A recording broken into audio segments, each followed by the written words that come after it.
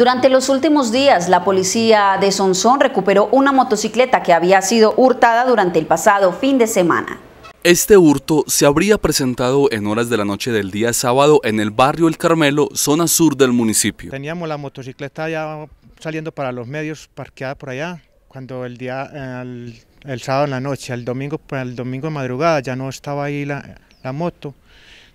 vinimos a la estación de policía a denunciarla, ya nos dijeron que no teníamos que esperar hasta el martes porque no era festivo.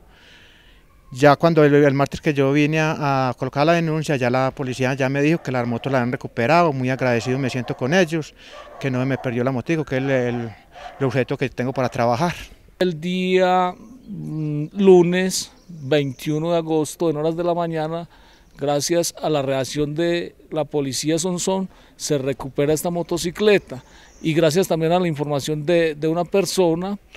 que nos da a conocer que fue allá en la vía que conduce de este municipio hacia los medios.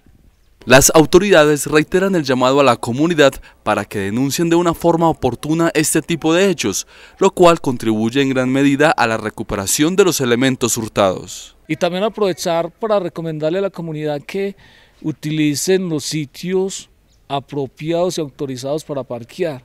que tomemos medidas para que no sufra nuestro patrimonio, que dejemos aseguradas las motocicletas, porque hay veces dejan, parquemos en cualquier parte y damos la oportunidad para que los dueños del ajeno pues se lleven los vehículos o las motocicletas. Que nos pongamos pila a no, a no volverlas a dejar por ahí, nos a, a parrandear y dejarlas por ahí mal estacionadas, que busquemos el parqueadero. Más cuidado con, con, las, con los objetos que tenemos para, para, para mantenernos, para,